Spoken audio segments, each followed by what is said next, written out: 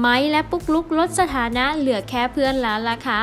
ต้องบอกว่าเป็นอีกหนึ่งคู่ที่ถูกจับตามองอย่างมากค่ะสำหรับคู่ของปุ๊กลุกฝนทิพย์และก็หนุ่มไม้พัทรเดชค่ะ ก่อนหน้านี้ไม่ว่าจะออกมาให้สัมภาษณ์อีกกี่ครั้ง ก็ยังคงบอกว่าเป็นแค่เพื่อนสนิทกันที่คอยดูแลกัน แต่การกระทำหลายอย่างเนี่ยคนอื่นมองว่ามันไม่ใช่เลย มองแล้วเนี่ยมันเหมือนแฟนกัน คอยดูแลกันตลอดไม่ว่าอีกฝ่ายจะเจอปัญหาใดๆล่าสุดนี้สาวปุ๊กลุกมีโอกาสไปออกรายการ Woody Show ค่ะวูดดี้เองเป็นพิธีกรก็เปิดใจถึงครั้งแรกกับมรสุมชีวิต พร้อมกับเผยสถานะของหนุ่มไมค์กับเจ้าตัว โดยวูดดี้นำคำถามในการสัมภาษณ์นะคะ ปุ๊กลุกเองเนี่ยก็ระบุข้อความว่า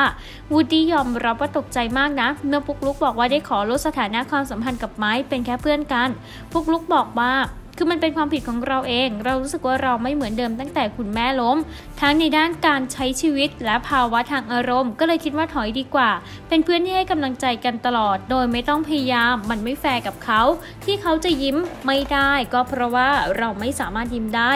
เราเองควรที่จะได้เห็นเขามีความสุขในแบบที่เขาควรจะเป็น หนุ่มไม้บอกว่าคือเขาเป็นคนที่รักครอบครัวมากครับ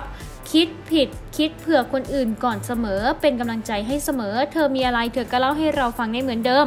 มีอะไรก็ให้ช่วยบอกได้ เรายินดีที่จะช่วยเสมอ พร้อมกับอกว่าจัดคอมีนี่ก็เป็นอีกหนึ่งเรื่องราวที่ทำเอาตกใจเหมือนกันแล้วค่ะนี่ก็เป็นหนึ่งทางที่เราได้นำมาฝากในวันนี้หากครั้งหน้ามีเรื่องใดๆทางทีมงานจะรีบนำมาอัปเดตค่ะ